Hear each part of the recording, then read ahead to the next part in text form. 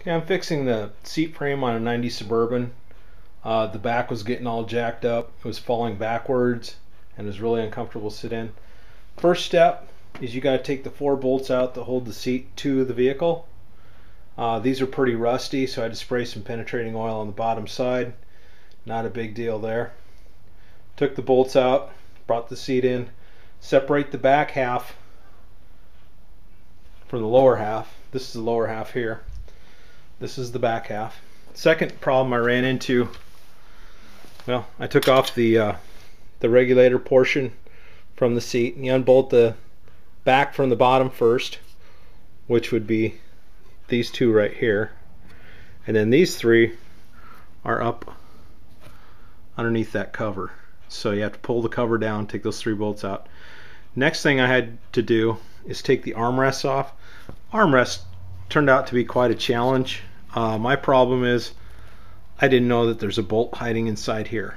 In order to get to that bolt, you have to slide the cover off the outside and you kind of got to stretch it around the back and it might be glued on.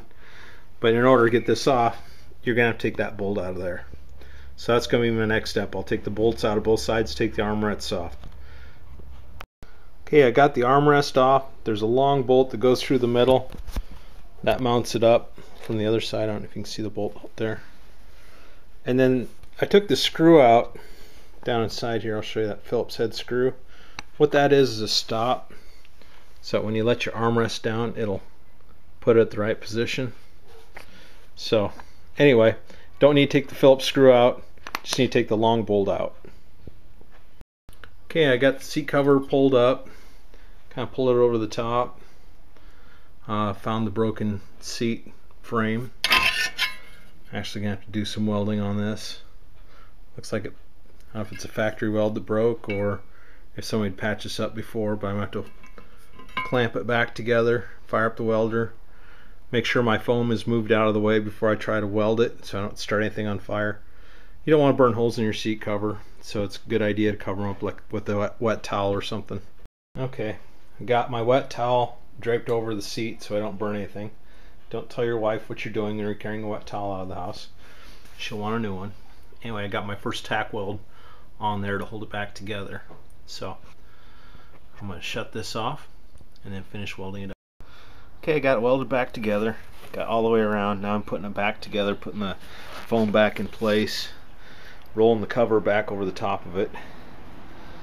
And then once I get it to the bottom, there's going to be a row of what they call hog rings that fasten the cover back together on the bottom.